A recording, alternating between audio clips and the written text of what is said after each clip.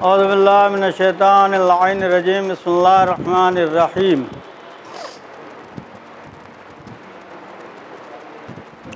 ईद अज़हा आज जो है गुज़र गई अब। अयाम अज़ा करीब हैं और मजलूम करबला से सैदुलशहदा की अदादारी। यकीनन होगी। और इसी सिलसिले से शहर के कुछ ज़िम्मेदारान और उनके साथ मैं भी शहर के डीएम से जाकर मुलाकात की थी। और यकीनन अज़ादारी तो होना ही है। और अज़ादारी होगी, लेकिन ये कि एहतियात की ज़रूरत है, एहतियात के साथ तमाम लोग मजलिस करें और अज़ाए मज़लूम करबला दुशहदा बर्पा करें। डीएम साहब से जो हम लोग मिलने गए थे वो सिर्फ़ इसलिए कि जुलूस वगैरह जो निकलते हैं, उनमें गाइडलाइन कितनी भीड़ हो, कितने लोग हों, इस सिलसिले से। बाकी मजलिसें जो हो रही हैं, उसमें लोग जो है, फासला बनाकर बैठें ताकि इस बीमारी से खुद भी बचे रहें और दूसरे को भी बचाएँ।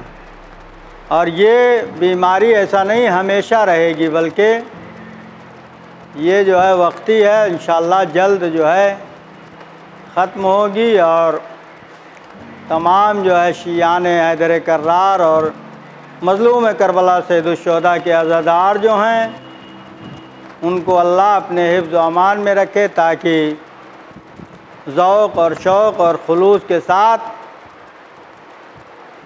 मज़लूम करबला का मातम और मजलिस हो सके। और ये तमाम अंजुमन के सदर और सिगरेटरी की ज़िम्मेदारी है कि अपने दस्ते के साथ किस तरीके से लोग बैठें जो तिब्बी उसूल और डॉक्टरी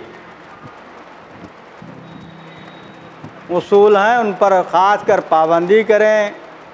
मास्क लगाएँ सेटनाइज करें और फासला भी बरकरार रखें दूर दूर बैठें, ताकि इस बीमारी से ख़ुद भी महफूज रहें और दूसरे भी महफूज रहें।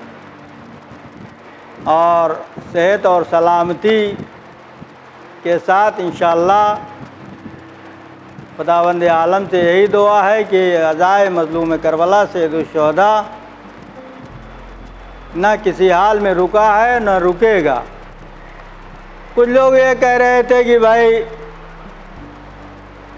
बिला वजह लोग गए वहाँ, डीएम के यहाँ, नहीं जाना चाहिए था।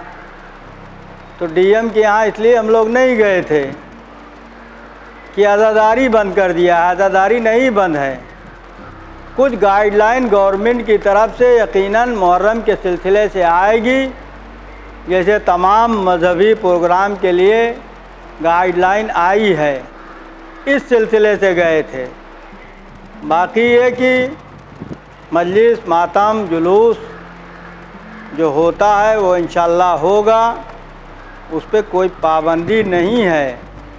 लेकिन ये कि हम आपको भी एहतियात की ज़रूरत है, एहतियात के साथ जो डॉक्टर और अतिबा और जो इसके मुतखस और स्पेशलिस्ट हैं, जो उन्होंने बताया, उस पर भी अमल लाजमी और ज़रूरी है कि उसके साथ और तमाम शीयों की ज़िम्मेदारी है, औरत, मर्द, मस्तूरात भी और मर्द भी, की अज़ादारी के सिलसिले से एहतियात के साथ अज़ादारी करें।